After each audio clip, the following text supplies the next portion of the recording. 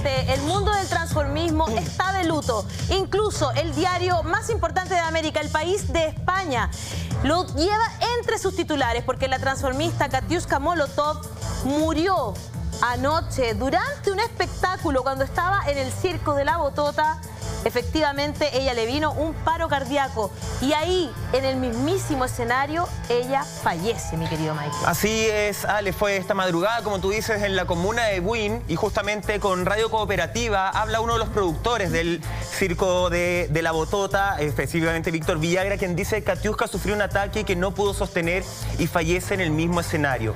Nadie se lo esperaba, se desmaya en el escenario, Botota corta la función y llaman a bomberos y paramédicos. Estuvieron más de media hora intentando que volviera, pero fue imposible. Las redes sociales se han plagado de mensajes de cariño a una de las transformistas más queridas del medio y que realizaba, según los mismos especialistas y sus colegas, uno de los mejores espectáculos. Mauricio Burgos, profesor de matemáticas de 38 años, también psicopedagogo. Él muere en el escenario junto a la botota, mi querida Claudia, y ella reaccionó a través de su cuenta de Twitter. Madrecita mía, dame fuerzas, dice nuestra querida amiga Botota Fox en su Twitter. Está, está concernada la botota, me dicen que esta semana ni siquiera va a ser su juego de la botota. Sí, y no solamente ella, claramente todo el mundo eh, que los rodeaba están muy, muy afectados por esta lamentable noticia, es muy triste. Lo único que uno puede rescatar es que murió en, en el lugar donde ella más amaba, que es el escenario. Claramente yo creo que es lo único que uno puede como destacar en este momento lamentable, lamentable eh, para todos los que la querían, para su familia también, este, mandarle un fuerte abrazo y, y es es muy triste, ¿no? O sea, ayer justamente estaba eh, dando, se estaba dando inicio a la temporada de, de, The Switch 2 y justamente hoy estar contando esta lamentable noticia es muy lamentable. Habla un poco también, Mariela, quizás, de la indefensión en que está el mundo del transformismo local, sin contrato, ¿no es cierto? Trabajan, la mayoría de ellos no tiene eh, ISAPRE ni FONASA, ni previsión alguna, ¿no? Bueno, sí, y la verdad es que eh, Mauricio o Katiuska, él tenía, padecía de diabetes. Él tenía diabetes, que todos sabemos que la diabetes en el fondo lo que hace es ir degenerando todos tus órganos. Entonces, eh, no se encontraba muy bien de salud, pero fue de todas maneras muy repentino. Yo hablé con gente muy cercana a él. Eh, de hecho, hablé con uno de sus grandes amigos, con quien incluso vivió durante muchos años, con Maxi Fuentes. Y él ah, me contaba que, él me contaba que, bueno, hasta, hasta tarde anoche con la hermana y con varias personas más estuvieron conversando cómo lo estaban haciendo y cómo lo iban a hacer con diversos trámites. Eh, resulta increíble ver una mujer, para mí ella es una mujer en el escenario, llena de tanta energía, con, tanta, con tanta naturalidad que ella se desenvolvía y se movía y finalmente su salud no estaba bien y justamente ella no se había podido hacer cargo también. Efectivamente, Mariela querida. Y vamos a presentar un amigo de la casa que está hoy con nosotros, nos va a acompañar durante todo el programa. Acaba de salir de TVN, bienvenido a Intruso, nuestro querido Luis Sandoval. Un aplauso. Por Tremendo panel, grandes amigos. Es que lo voy a pasar increíble hoy día con ustedes, chicos. Muchas gracias. ¿Cuál es tu opinión sobre esta repentina muerte, Luis? Mira, la verdad es que estoy conversando con una persona que es muy cercana y verdad lo que dice Mariela. Tengo entendido que él hace tiempo tenía problemas de salud, ¿vale? Por ejemplo, aparte de la diabetes, tenía la presión alta se cansaba fácilmente y tenía problemas obviamente de gordura, tenía un exceso de peso, por lo cual no se estaba cuidando demasiado. Por lo tanto, para los más cercanos no les es tan extraño esto de que eh, un paro cardíaco le haya afectado su salud, porque realmente es como el resultado de... Entonces, pero igual llama la atención. Igual era joven, eh, tenía obviamente. o sea, tenía toda una vida por delante y claramente bastante impactante. Aparte de la forma como fallece sobre un escenario, claramente es realmente eh, llamativo.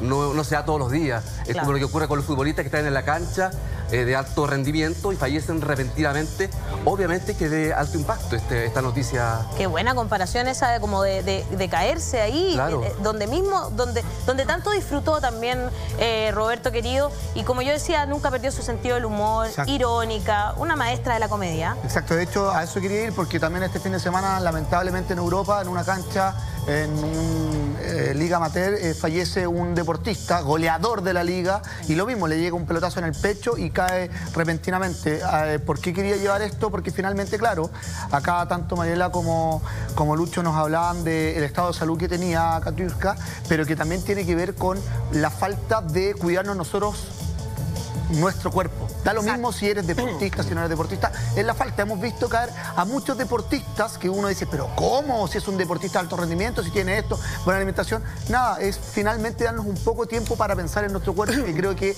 lamentablemente el ritmo vertiginoso que nosotros vivimos en el día a día, no nos preocupamos, un dolor de cabeza, lo vimos el otro día con la pareja de Nico Savera, con Mónica Godoy, que terminó con meningitis en, en la clínica. Entonces es finalmente como dar un mensaje chiquillo, cuidémonos un poquitito, onda, preocupémonos también de nosotros, no solamente de el trabajar, trabajar para vivir y para tener para vivir, sino que también para poder cuidarnos nosotros. Y ahí justo un punto que tú estás tocando, ¿no es cierto, Michael? La vida nocturna que tienen en general los transformistas, eh, no se pueden desempeñar, muchos de ellos, de hecho, la mayoría de ellos, hay una sola transformista en todo el espectáculo nacional, justo anoche, que parte de Switch 2, es como una paradoja, ¿no? Eh, que tiene contrato indefinido, que es Morín Junot en el Fausto, justamente, que es donde se hacía amigas y rivales, que veíamos a Katiushka todos los domingos en la noche. Lo hablábamos un tiempo, Ale, a raíz de Luz Violeta, ¿se acuerdan de esto? De, de los sueldos que se pagan también, que no solamente es la vía nocturna que ya puede ser contra natura de alguna forma, el hecho de que te acuestas cuando todo el mundo se está levantando, los, no, estoy diciendo este caso particular, pero también los excesos que lleva la vida nocturna, el exceso de la carga laboral que, también tú tienes de no trabajar con la luz del sol, sino también los pagos. Muchas chiquillas hablaban en, distintos programas eh, de internet específicamente de lo mal pagadas que eran. Entonces, claro, en esa vorágine tengo que trabajar y esta platita la tengo que guardar para ciertas instancias, de, pasan a descuidar su salud, pasan a tomar un dolor de cabeza, como decía Roberto, de sabéis que esto se me va a pasar con una pastillita, otra pastillita por acá, y en el fondo la automedicación lo que hace es cubrir lo que de verdad tienen, el problema. Ella estaba ya con problemas médicos, es, de verdad, es, tremendamente lamentable lo que está sucediendo, pero me quedo con la luz, entre comillas, que mencionaba la Claudia. El lugar que le dio más alegrías, el lugar donde ella más amó, más disfrutó, es paradójicamente el lugar donde hoy día todos nos generan una pena tremenda, pero se despidió como los grandes sobre el escenario. Perdón, es que eh, Ale, tú tocas un tema no menor, que tiene que ver eh, estos eventos nocturnos que generalmente todos hemos hecho en distintos discotecas, en distintas regiones, y que han eh, terminado en algunos casos con, en tragedia, como por ejemplo fue con Olavarría, ¿se acuerdan el actor del Happening con Ja, que da la vuelta al nu, que te veía para allá, para acá? El, ¿Cómo se llama el que bailaba? el, Negro Said, eh, entre otros. Yo, en, este, el este fondo... los cantantes también de los Ramblers. Eh, exacto. Yo, en el fondo, lo que doy es como un consejo, porque es cierto, esta es una vida que uno vive el minuto a minuto y que generalmente cuando uno le sale el pituto dice, bueno, pero son luquitas extra, que puedo hacer esto, esto, otro. Uno tiene que ser un poco más precavido. Uno de repente, en vez de ganarte el 100%, te puedes ganar quizás un poco menos, pero tener un equipo detrás. Yo también recuerdo, yo hice muchas discotecas con Felipe Camus. Y en un momento yo dije, ¿sabes qué, Felipe? Yo ya no puedo más. Porque uno se agota, uno dice, pero ¿cómo te vas a agotar si son 15 minutos arriba del escenario? No, pues no son 15 minutos. Tú salías a las 10, 9 de la noche de tu casa, llegabas a las 6, 7 de la mañana, como dice Michael. Y yo me acuerdo perfecto, un día veníamos de vuelta con Felipe, yo venía caminando y nos estábamos quedando dormidos y el auto se nos va. No te creo. Finalmente paramos, nos quedamos un rato durmiendo en la carretera, pero dije, ¿sabes qué? Hasta acá nomás llegamos. O contratamos a alguien, o hasta acá nomás llegamos, porque también, a ver, yo obviamente cuando yo manejaba no tomaba pero cuando teníamos el sueño da, lo mismo. El sueño da, y obviamente también cuando uno va con algún amigo con alguien, uno también va lo que dice, ay, que te tomáis un traguito, dos traguitos, y comienza una vida un poco más agitada.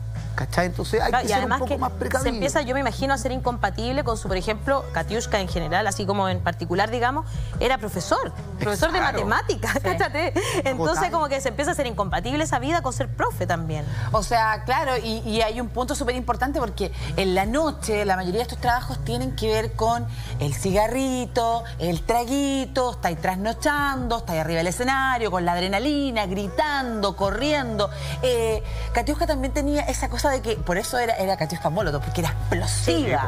Entonces ella sabía que arriba del escenario tenía que rendir y tenía que cumplir como lo que prometía su nombre, que era una bomba de, sensación y una locura. Entonces, claro, justamente ahí es donde se convergen varios puntos en donde eh, hubiese sido bueno de repente, y, a veces la gente no lo dice porque ella ya falleció, pero que alguien hubiese estado un poquito más pendiente de su salud. Hoy día de repente hablamos de la gordura, de la obesidad, pero no es solamente un tema estético, es mucho más que eso. Es La diabetes hay mucha gente que no tiene idea, pero la diabetes fue una de las primeras enfermedades en bajar la expectativa de vida del ser humano. O sea, una persona que tiene diabetes tiene una expectativa de 25 años en adelante si se cuida muy bien. Si no se cuida, son 15 años. Imagínate tú cuando tienes un niño con diabetes mellitus 2 de 4 años.